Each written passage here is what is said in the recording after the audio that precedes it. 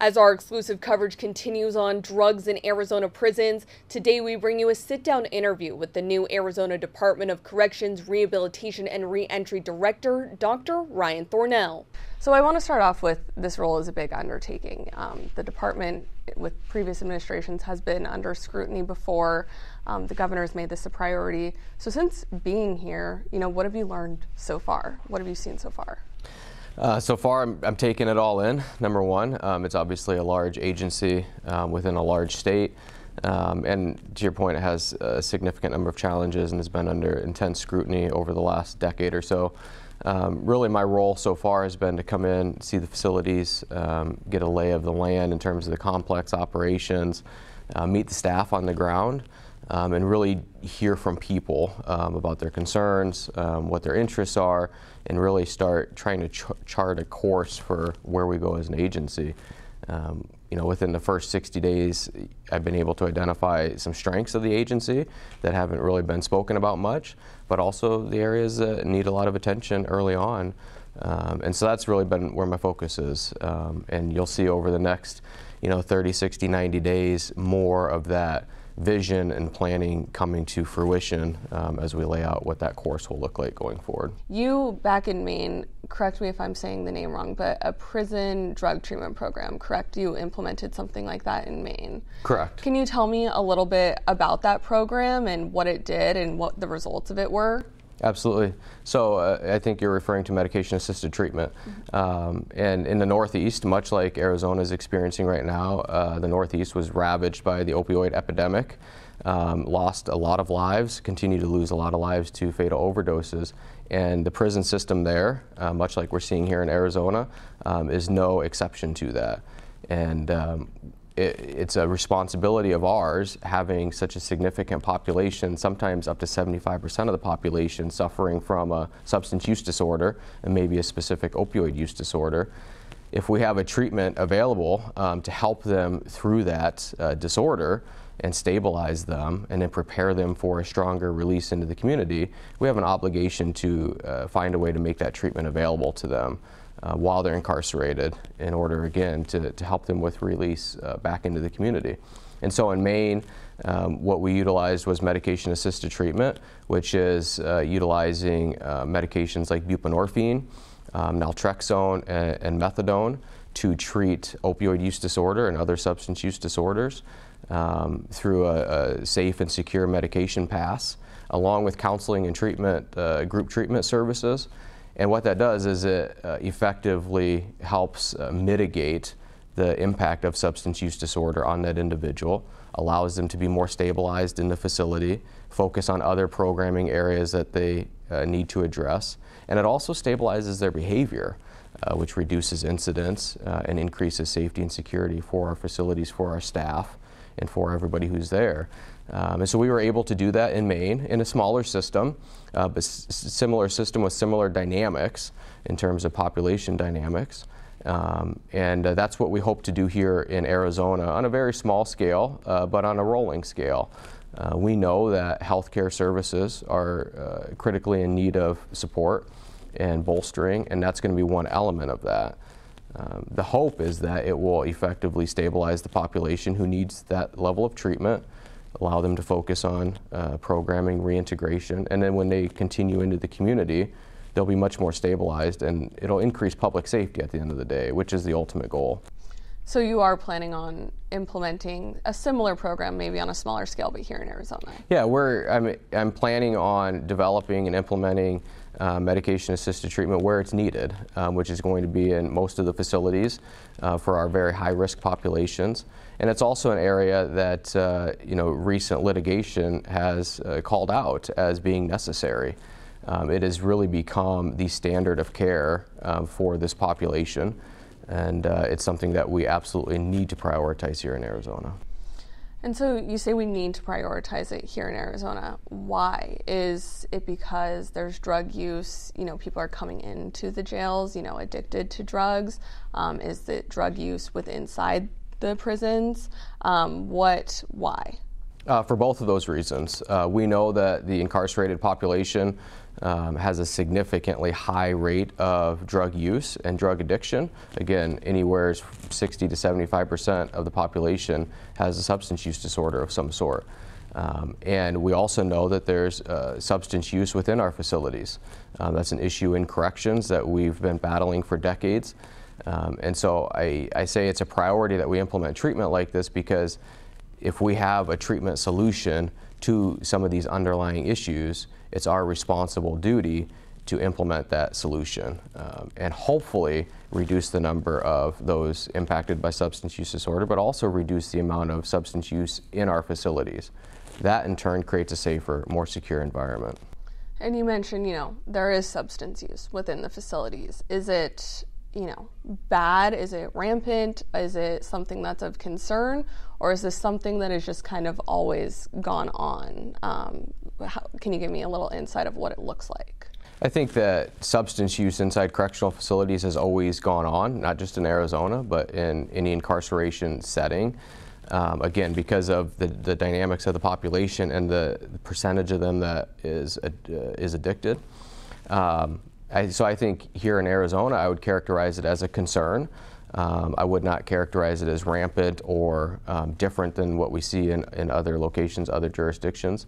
Um, but any use um, creates a potential for safety security concerns, and uh, we need to make sure we're taking steps to mitigate that um, through treatment and other safety security practices.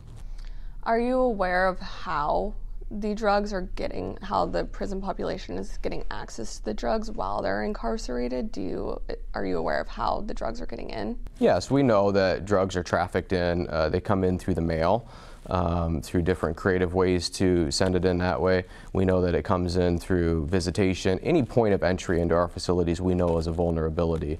Um, and so we take steps to reduce those vulnerabilities um, to every extent that we can. And we're going to continue to uh, find solutions and try out new ideas uh, to continue mitigating that. Um, during my interview with Governor Hobbs, she actually raised concerns about this. this happened before your appointment and before you came here, but within, have you heard about what happened at the county jails and a officer was caught trying to smuggle so the governor actually brought that up to me, and you know that is a concern. And she said, I don't think that's an isolated incident, and it wouldn't surprise me to find out if it's happening on the state side. So this is a concern for the governor. Are you aware that maybe correctional officers could be bringing it in? Has she raised that concern to you that this is something she's worried about? I'm aware that it's a concern, um, and it's again, it's always a concern, uh, not just here, not just at the county level, not just at the state level in Arizona. Any point of entry into a facility, um, whether it's staff, volunteer, visitor, mail, what have you, is a vulnerability for us. Um, our goal is to make sure that we reduce those vulnerabilities, and so we put every staff member through, including myself, when I go into facilities, we go through a security process. Um, we have body scanners, we have other uh, security protocols that we all follow. Uh, we have mail scanning procedures um, that we're going to continue to bolster as well.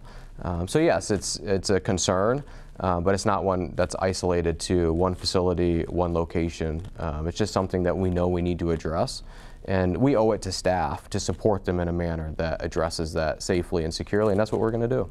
And that was something similar. You know, the governor said this is a tough job in really supporting corrections staff. Um, you talked about implementing new ways and really working to prevent this. Have you had any conversations with Maricopa County Sheriff Paul Penzone? He mentioned implementing, you know, new scanners to try to combat this. Are these conversations that you guys are having, um, or and also elaborate on, you know, how you plan to prevent this or work on it? Yeah, so Sheriff Penzone and I have met uh, and talked one one time so far in my short time here. Um, we're scheduled to meet uh, more uh, individually and formally um, together in the coming weeks. Um, so that will certainly be a topic of um, discussion for the, the, two of us. But I also know we're already implementing uh, similar um, body scanners and other um, uh, entry procedures that he's implemented at Maricopa County Jail um, and that are considered best practices around the country. And so I'm very confident in the steps that we're taking um, to mitigate the issue and to support staff. Uh, but it's certainly something he and I will be talking about because I'm interested in the lessons that he's learned mm-hmm. uh, locally here um, in his efforts. What are the current I guess, protocols or procedures for entering the jails. Can you tell me um, what those are right now? Yeah, so I mean, just generally speaking, mm-hmm. um, anytime you come into one of the one of our prison complexes, um, you're going to come in through a main security door. Um, typically, there's uh, at least a two-door sally port um, sort of entry, meaning one door uh, is closed while another one is open.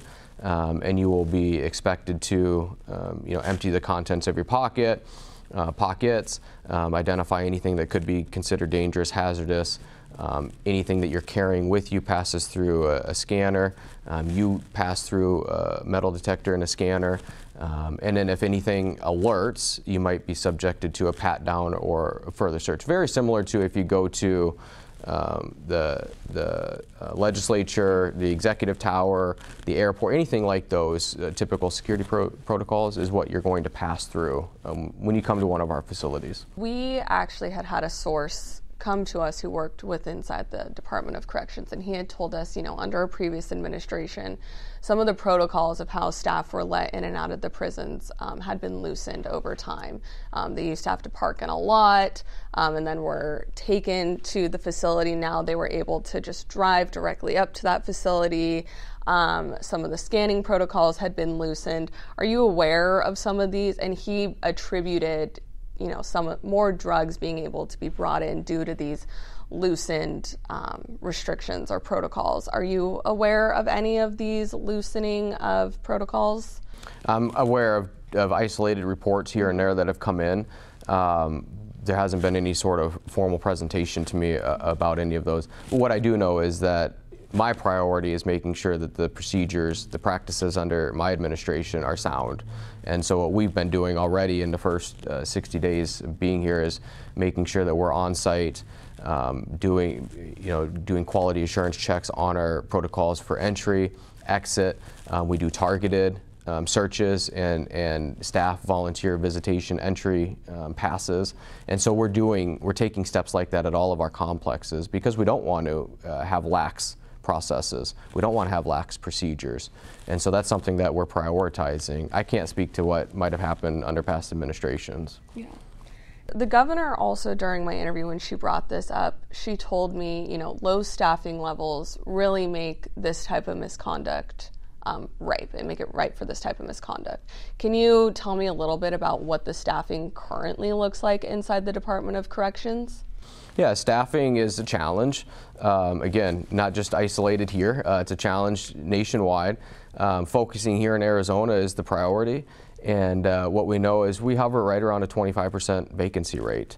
Um, and you know, in, in some facilities that's okay because we have some areas that we're not using of the facility, and so it doesn't require certain staffing uh, at times. But we have other facilities where that creates a, a strain and a burden on staff.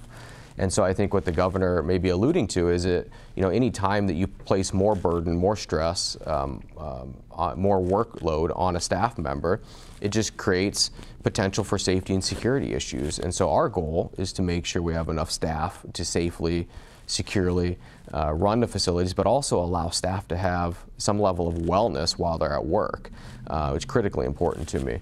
Um, in the first 60 days of being here, I know that our staffing numbers have improved slightly. Um, I don't take credit for that. Um, I think it's a coincidence of me coming in. Um, I think it's a result of targeted recruitment and retention efforts that the department has had underway. Um, what, what, I can tell you is that we need to make sure our staffing numbers are strong. Um, my goal in doing that is to create an environment that staff want to come to work in, staff feel very valued and a part of, and that they're gaining the education and information and experience that keeps them with us as an agency. I think if we create that environment, we will have retention numbers that drive our staffing levels up. Um, it's going to take a little bit of time, um, but that's critically important. Without staff, without staff that feel valued and feel well at work, we're vulnerable all over the state, and so we need to make sure that we prioritize them. Specifically, how do you plan to get those staffing numbers up? Do you have any specifics? Yeah, I, I just share a couple things. Number one, um, I'm bringing together a group of staff uh, from around the state, different complexes, to really talk about wellness and retention and the factors that matter to them, um, rather than just hand down a list of five or seven ideas of what we need to be doing. I want the ideas, the strategies to be staff driven, uh, what's meaningful and impactful to them. And so that's starting to get underway. Um, and also to have staff involved in the work that we're doing. And so as we start identifying things that we need to do as an agency to move forward, having line staff involved in those conversations uh, critically important to me but also to make sure that we're providing them with the professional development the information education to carry out the work as we go forward. Oftentimes we hand down mandates we hand down directives to staff and we just tell them to carry them out. There's not any buy-in to that. And so it shouldn't surprise us that staff get fed up leave at higher rates. If we bring them into that conversation, if we help them understand and they help us understand, and then we produce a good policy practice from there, I believe that staff will be much more uh, bought into it and will stick around and actually fulfill the mission of the agency by carrying that policy, that practice out. And so those are just a few ideas. Um, the other, the other critically important thing is when we're out and about walking and talking through our facilities, which I find one of the best parts of my job, uh, interacting with staff and, and the population, is when they ask us something, when they share an idea with us, or when they um, want us to look into something, it's really important that we follow through on that and that we follow back up with them. Um, a, a, lot of times we miss those opportunities to just engage staff and just help them um, have confidence in the department um, by simply following through on something we're telling them we're going to follow through on. And so that's another area that we need to prioritize as an agency to help them feel valued. And it sounds like you really just want to have a collaborative environment here as well. And I would assume, you know, you said you're effective in implementing, you know, new programs or protocols, and you need the staff to be able to do that. Um, so I kind of wanted to pivot back to, you know, implementing that treatment program um, on a smaller scale. So we at KTAR actually, it was in November, um, found out of an overdose that happened inside the Lewis prison. Um, three inmates were involved.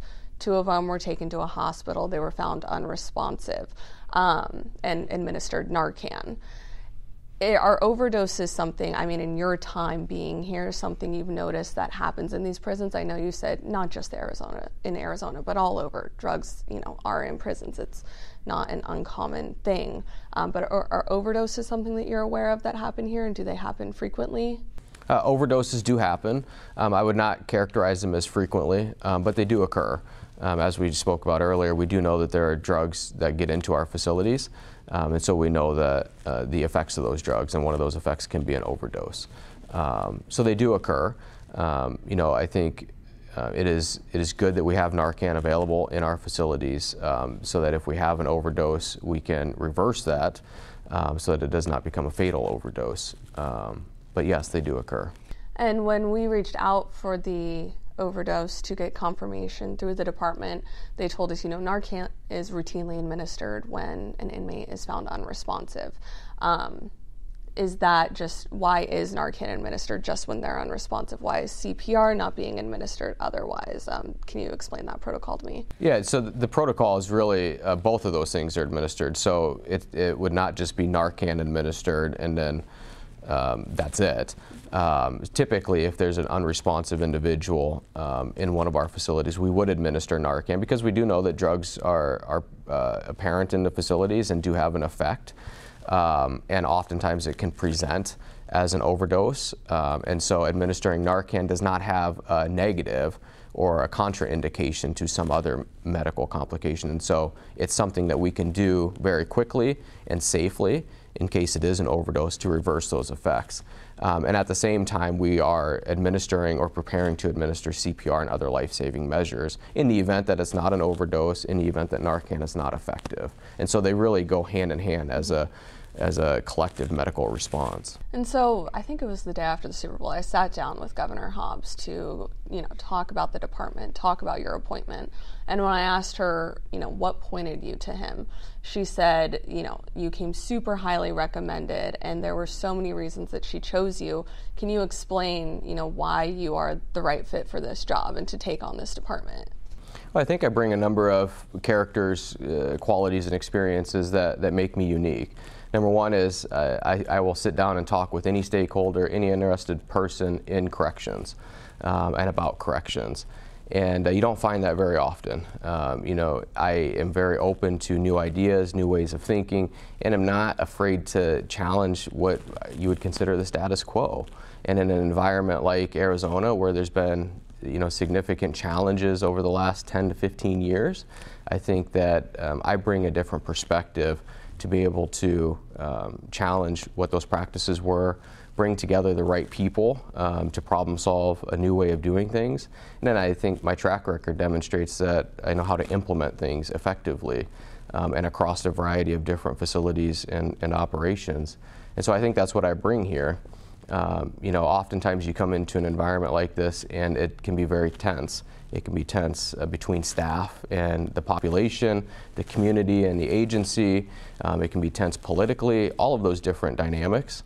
Um, and I like to think that I bring a, an approach that hopefully mitigates that. Uh, because at the end of the day, I just want to do good corrections. And I think the state of Arizona wants good corrections. And so that's what I hope is, is the end product of, of me being here. In a year from now, where do you want to see this department? What accomplishments do you want it to be made? Um, a year from now, um, you know, I'd like to I'd like to see the agency uh, very collaborative, uh, very engaged with our uh, community stakeholders, our community partners. But I'd really like to see the agency operating in a, a much more uh, confident and grounded manner, uh, really uh, carrying out um, you know day-to-day corrections in a manner that people would be very proud of, feel is is really best practice corrections.